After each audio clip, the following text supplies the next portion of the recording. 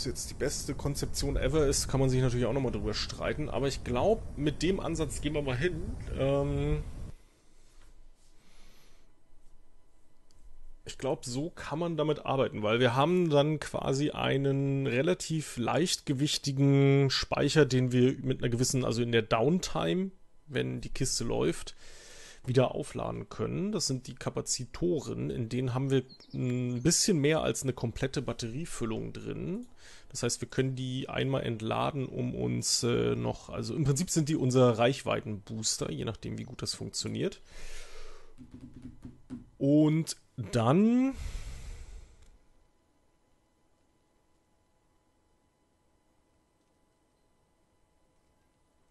müsste man fliegen können. Also eigentlich, ich überlege gerade, ob mir irgendwas noch einfällt, was total dagegen spricht, aber eigentlich nicht.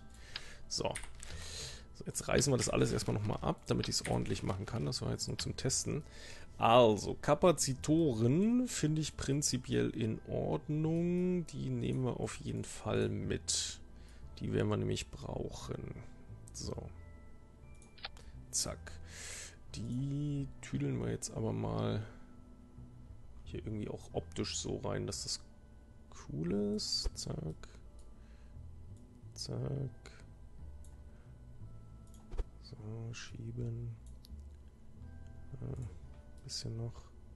So, die, die docken wir quasi an die Motoren an. Dann hat jeder Motor seinen Kapazitor. Because of äh, Gründe. Kann der sich da quasi Strom holen. Tock angesteckt.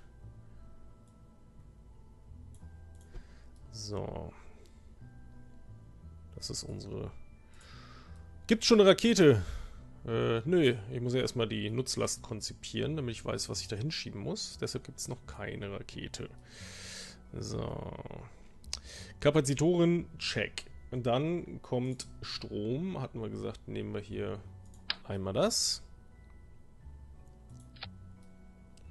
Und einmal einen Nukularreaktor mit einem kleinen Radiatorenpanel. So. Das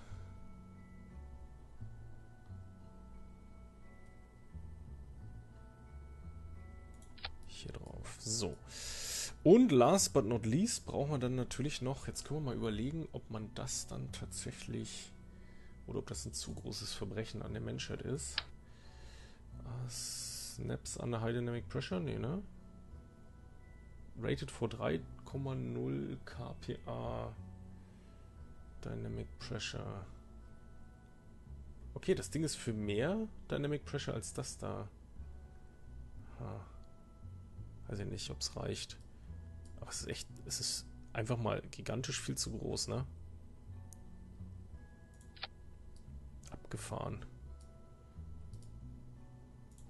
Boing. Abgefahren, riesengroß. 0075. Gewichtstechnisch 0075. Ups, äh, 005 wäre ein Large Radiator Panel. Ja, das nimmt uns halt echt auch nochmal viel Dings raus. Dann werden wir wahrscheinlich wirklich über ein Relay arbeiten. 0015. Weil die Dinger hier...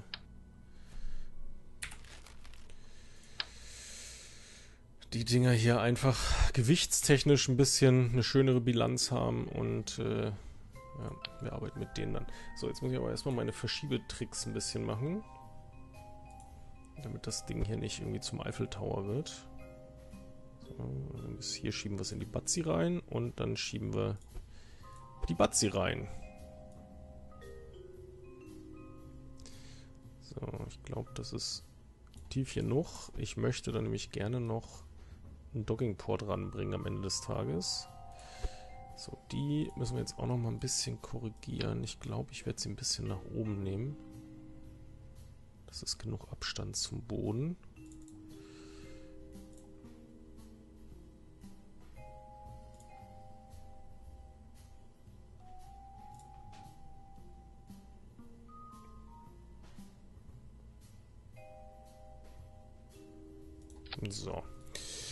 Sollte reichen, dann ist das nicht ganz so hoch in seiner Gesamtheit.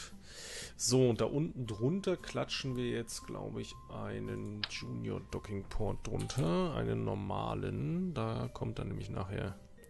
Obwohl, wir können es auch andersrum machen. Ein Junior Docking Port für die Rakete.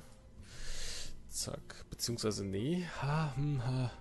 Shit, ich muss nach oben irgendwas ranbauen, was mich landet, ne? Der gute alte Skycrane muss, glaube ich, zum Einsatz kommen wieder. Hm, das machen wir mal gleich. Zack.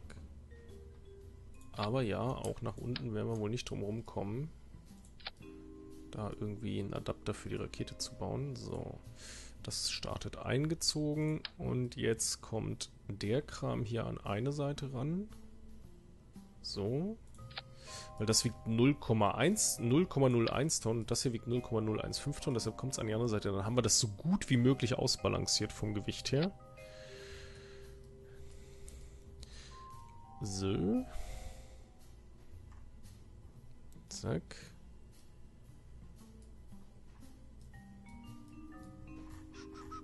Guck mal mit. Mit Gesicht. Oh, so schön. Gut. Äh für die Duna-Landung. Sollte hoffentlich...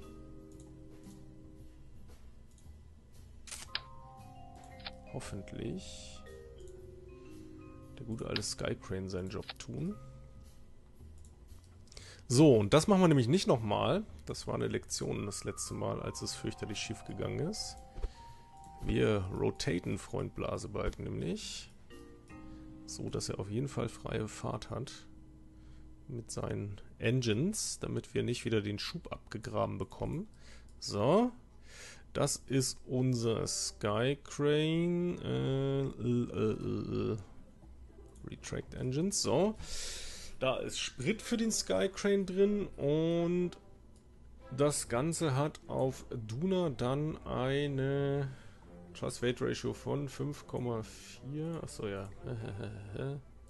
Entschuldigung. Zack. Stufe 1 hat eine Trust-Weight-Ratio von 5, und ein bisschen und ungefähr 2700 Delta V. Das reicht für eine lockere, lockere, einfache, schöne Landung. Und ich bin mir ziemlich sicher, auf Duna müssen wir uns dann nicht mal Sorgen um die Hitze machen. Ups, das wollte ich gar nicht. So. Und jetzt können wir natürlich einfach sagen, wir nehmen das Konzept hier nochmal und machen echten, nee, einen echten Rover. Ja, ich habe die Diskussion schon mitbekommen, aber ehrlich gesagt möchte ich gar keinen echten Rover haben. Ich möchte eigentlich unten drunter nur noch zack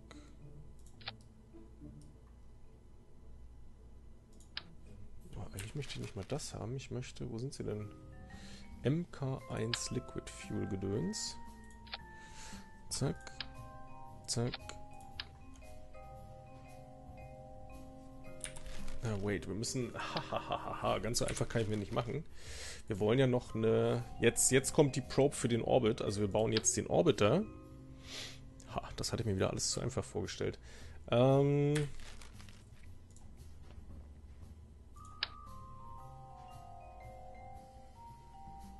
Zack. So, das wird jetzt unser Orbiter. Wir wollen nämlich ja noch ein paar Sachen an Duna rausfinden, Forschung betreiben und scannen und so weiter, wenn wir schon mal da sind.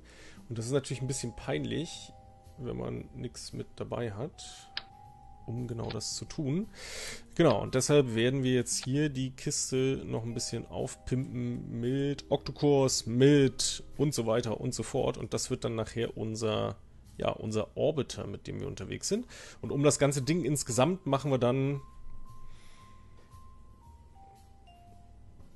würde es was ausmachen, die Arme bis knapp an die Caps ranzuschieben? Yeah. Also je mehr Auslegefläche wir haben, umso besser ist es natürlich. Ich werde nachher mit dem Fairing noch, also mehr Auslegefläche bedeutet einfach mehr Stabilität, weil wir weiter auseinander sind mit den Motoren. Ähm, ich werde nachher, wenn wir das Fairing bauen, sehen, wie schlimm das fürs Fairing wird. Wir haben auf jeden Fall noch ein bisschen Spielraum. Also ein, zwei Segmente es reinzuschieben, sollte die Stabilität nicht so weit gefährden, dass wir in ernstzunehmende Probleme reinkommen. Aber wenn ich nicht muss, werde ich es auch nicht tun, eben weil ich es nicht muss. So, da kommt ein ganz kleines Reaction Wheel rein. Und dann ein wenig Speicher für den Strom. Aber auch da keine, keine Unmengen. Ich glaube, so ein kleiner reicht uns da eigentlich. Zack, zwei kleine. Zap, zap. So. Close. Können wir das erstmal zumachen. So, warum noch ein Probe Core? Weil das der Orbiter wird. Also, jetzt nochmal erklären. Dieser Probe Core mit dem Rover wird auf Duna mit diesem Sky Crane nachher anlanden und benutzt diese Antenne, um über diesen Orbiter zu relayen. Äh, dieser Orbiter bleibt im Orbit von Duna und wird von dort aus so Dinge tun wie eine Funkverbindung halten, nach Ressourcen scannen, Experimente durchführen. Oh ja, stimmt, Experimente für den Rover sollten wir, für den Hover Rover sollten wir noch machen. Müssen wir gleich noch gucken, dass wir ein paar kleine Sachen. Also er wird ein paar Sachen bekommen, die klein sind. So. Ähm, der hier bekommt dann noch einen Fuel Tank. Ich guck mal, was das hier so tut, wenn wir das mitnehmen und den Oxidizer rausnehmen und ein atomares Triebwerk anbauen, dann wäre das quasi so meine Transfer-Stage, um es jetzt mal so zu formulieren. Die hätte dann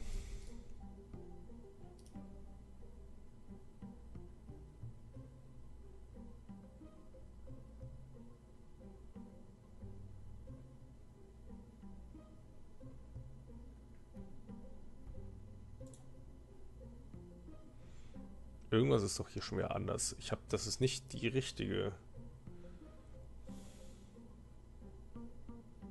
Solid Core. Was, was habe ich denn für abgekriegt? Okay. ich muss mir jetzt, ich habe scheinbar irgendein neues Nukleartriebwerk, das irgendwelche anderen Sachen macht. Das muss ich jetzt mal tatsächlich. Okay, das hier wäre korrekt, aber jetzt, jetzt habe ich mich selber neugierig gemacht. Ich muss mir gleich mal angucken, wie viel das bringen würde. Äh ein Solid Core. Äh, hm, hm. Was? Wie wo? Die könnten einen Ingenieur wieder aufrollen. Notfall-Landevorrichtung. Ja, ja, ja. Notfall. Ihr seid Notfall-Landevorrichtung. So. 4600 Delta V hätte man damit. Bei einer Trust-Weight-Ratio von viel zu wenig, aber äh, 4600 Delta V ist die Aussage dahinter. Das ist natürlich schon mal eine feine Sache. So, jetzt muss ich aber erstmal rausfinden, was, was kann dieser andere Engine? Also, Nuclear Thermal Rocket Design. Hot Feature, LOX Augmented Afterburner Mode. Oxidizer is injected directly into the nozzle where it violently reacts with the superheated plasma exhaust and causes a massive increase in thrust and cost of lower ISP. Ich habe kein Wort verstanden, aber ISP ist 720 im Vakuum.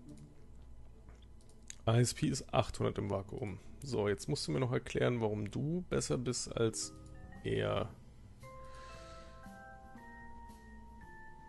Äh...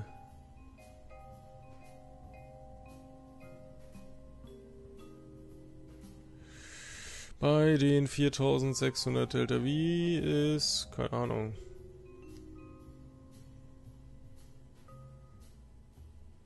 Stimmt, das ist argumentativ? Nee, ist nicht mit dabei. Doch mit dabei. Hä, warum ist denn der da mit dabei? Warum ist die Stage 1 nicht extra? Was ist hier los? Achso, äh, wartet mal. Enable Staging. So. Dann müsste ein Schuh draus werden. Was ist los mit dem Ding? Oh, wartet mal, ich muss einen Kappler dazwischen setzen. Aus irgendwelchen Gründen will er das nicht begreifen. So. Gut, jetzt aber. Also dann sind es 3375 und dann kommt der Sky Crane. Äh. Alles ist gut. Ich habe noch nicht verstanden, was das andere Triebwerk macht, was dieses Triebwerk nicht tut. Reaktor, blablabla, Reaktor. Da scheint auch irgendwie ein Reaktor drin zu sein, wenn ich das richtig verstehe.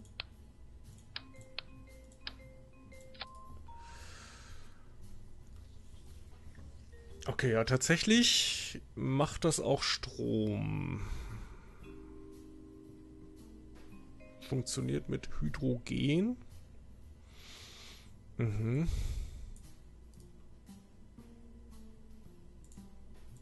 Ich stelle jetzt einfach mal auf Hydrogen um, um den Vergleich zu sehen. Kann ich gar nicht. hm. Kannst du auch was anderes benutzen? Next Propellant. Liquid Fuel.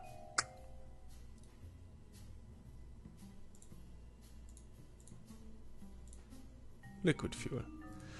So, äh, jetzt ist hier wieder irgendwas dazwischen nötig, um das extra zu bekommen. Also wir hatten 3000 bla bla bla und ein bisschen mit dem Ding. Und das hier hat...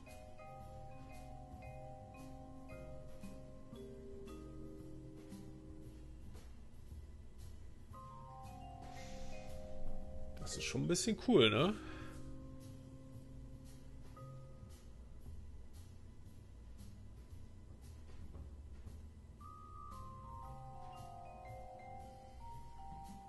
Wenn ich das richtig sehe, guck mal, 5300 Delta V aus der Stufe versus... Achso, weil ich den Tank umgestellt habe. 6100, so gut, dann nehme ich die. so, ich habe den Tank umgestellt, das war, deshalb ist alles anders. Gut, also, zack, Liquid Fuel Tank. Ha. 6000 Delta V for the win. Damit können wir sonst wohin fliegen. So, Gut, also wir bleiben jetzt einfach bei so einem ganz klassischen äh, Dingens. Aber wir könnten natürlich das hier auch noch auf völlig übertrieben. Werden wir aber nicht machen, weil dann wiegt mir das zu viel. Wir könnten es auch noch kleiner machen, aber muss es auch nicht. So. Gut, ähm, jetzt kommt da eine Stromversorgung für unterwegs noch ran. Ich glaube... Ne, wir fliegen weiter raus und wir wollen auch ein Funkrelay nachher sein. Ich glaube, ich nehme ein bisschen was Größeres mit. Und das machen wir uns in einer Dreifachverteilung ran, damit wir auf jeden Fall relativ gut alle Richtungen abdecken können. So.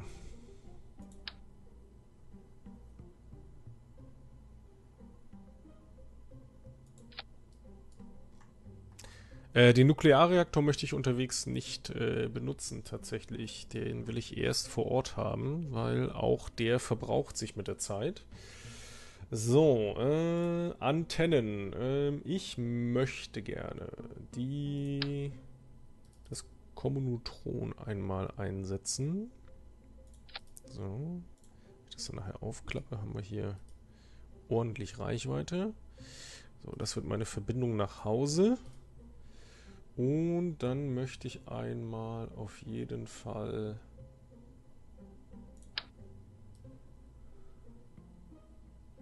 Packen wir das hin vor lauter Elend? Das könnte man hier so hinmachen für später. So, damit haben wir dann die Funkverbindung hoffentlich bis runter auf den Boden.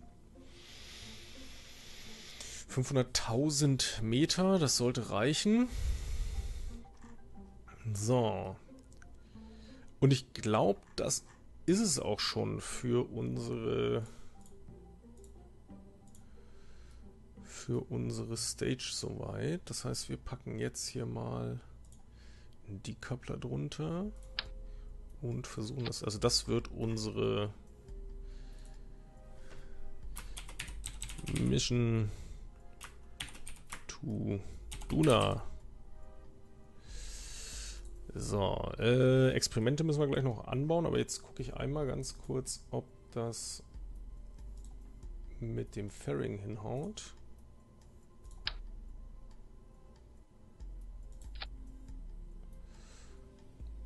Das scheint aber relativ okay zu sein. Und der Urbs, vielen lieben Dank für dein Follow.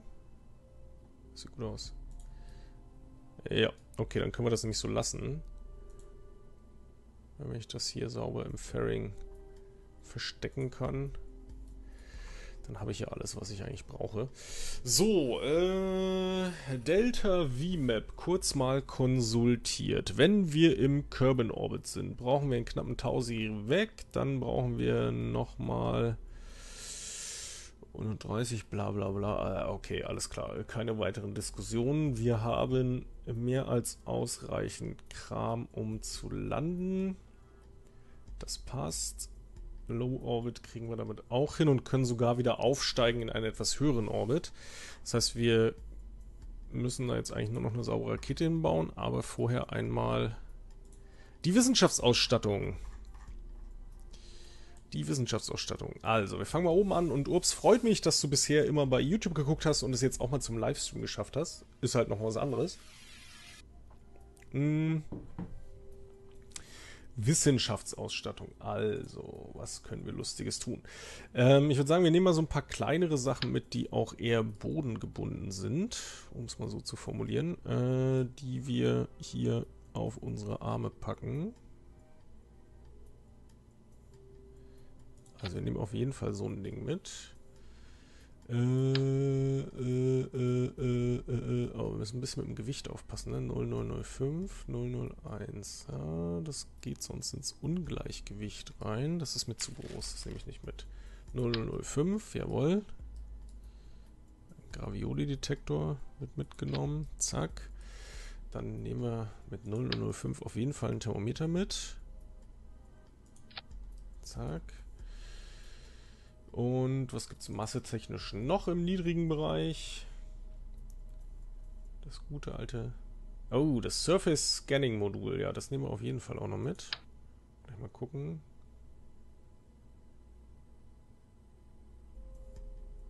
Hm, Atmosphärenanalysegerät. Ah, so viele leckere Sachen. Gut, das Pressmand-Barometer. Der ist auch nochmal mit 905. Den packen wir mittig einfach ran, dass der hoffentlich, der ist auch ziemlich groß, dass der hoffentlich nicht zu viel Unwucht erzeugt. So. Atmospheric Sounder. Der kann Argon und Xenongas entdecken. Wie groß ist der? Den könnten wir natürlich als Gegengewicht hier ranpacken, aber ich hoffe, dass das Ding nicht zu schwer wird dadurch.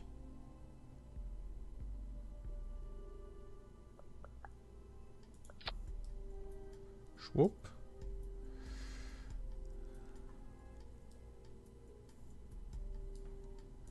Current Duna Atmospheric. So, zack. Enable Staging.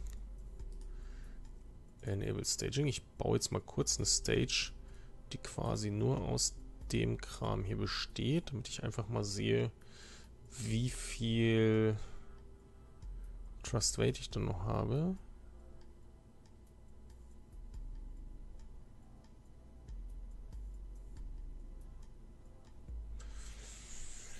Sagt jetzt 0,14. Aus irgendwelchen Gründen glaube ich ihm das nicht.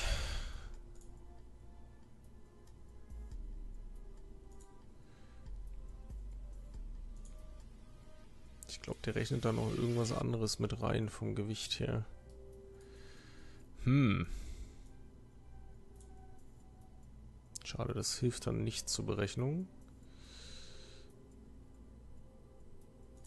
Aber wir können ja mal kurz folgendes tun. Hä? Können wir nicht folgendes tun? Ich würde das gerne abnehmen. Ehrlich jetzt.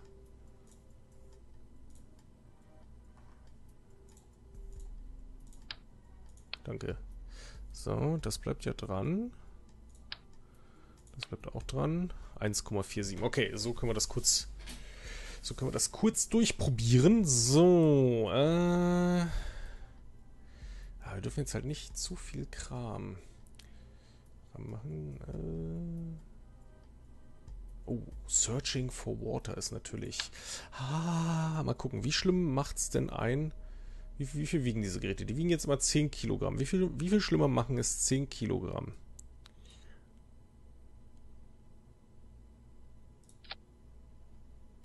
Wir verlieren halt Trust Weight, ne? Carbonite Sampling Kit ist, glaube ich, zu... Ne, das möchte ich nicht. Das ist ein bisschen groß. Quadrill. Ah, ich habe halt kaum Dinger, die exakt eine Tonne, also 10 Kilo wiegen.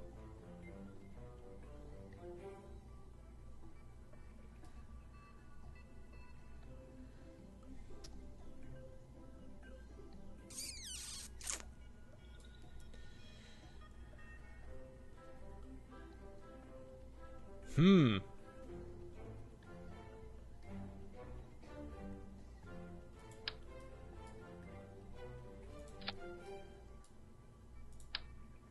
Machen wir es doch so.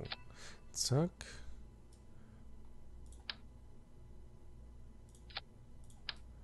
Zack. Oh, dann muss das natürlich auch auf die Seite, so. Weil da blöde Panel sonst im Weg ist. Also der Radiator. So, ich versuche das halt so ausgewogen wie möglich zu machen. Wir gucken uns gleich mal die Center of Mars an. Dass das sauber ist. Ah, oh Gott, der Finn, Flynn. Scheinwerfer für Nachtflüge. Ich glaube, so weit will ich nicht gehen. ich weiß nicht, ob ich damit nachts rumfliegen will. Äh, so, und die Dinger sind jetzt hier. Genau, die machen wir schön untereinander, dass das in der geraden Linie bleibt. So, wir sind jetzt bei 1,45 und das Center of Mars ist hoffentlich nicht völlig verhunzt. Ne, es ist sogar ziemlich exakt. Okay, das ist gut. Äh, was würden uns denn Scheinwerfer kosten? Gewichtstechnisch meine ich jetzt.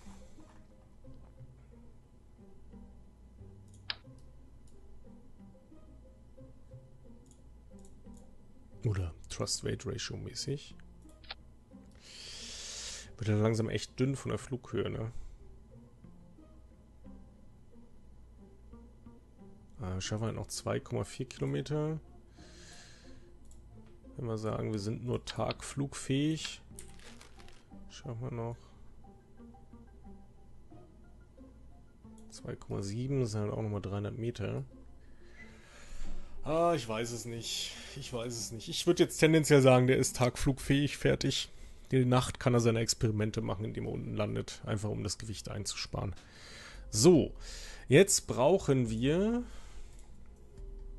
Nee, brauchen wir nicht, weil das kann man so machen, aber wir können mal eine Action Group anlegen für...